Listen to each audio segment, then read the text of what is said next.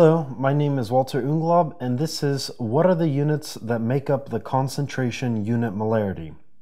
So, molarity is defined as the number of moles, denoted by the capital letter N, divided a given volume in which these moles uh, inhabit or occupy.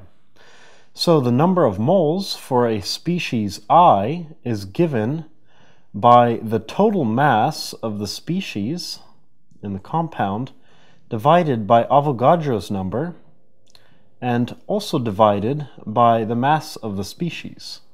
And the units is in moles, or just mole for short.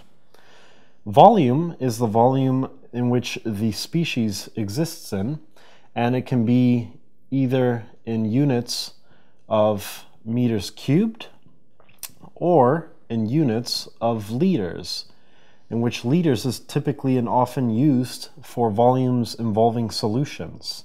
Therefore, the units for molarity, which is denoted by capital letter M, will typically be in terms of moles per liter. And one mole per liter is equivalent to 1,000 moles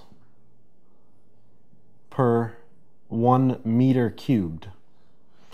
My name is Walter Unglaub, and this is What are the units that make up the concentration unit molarity?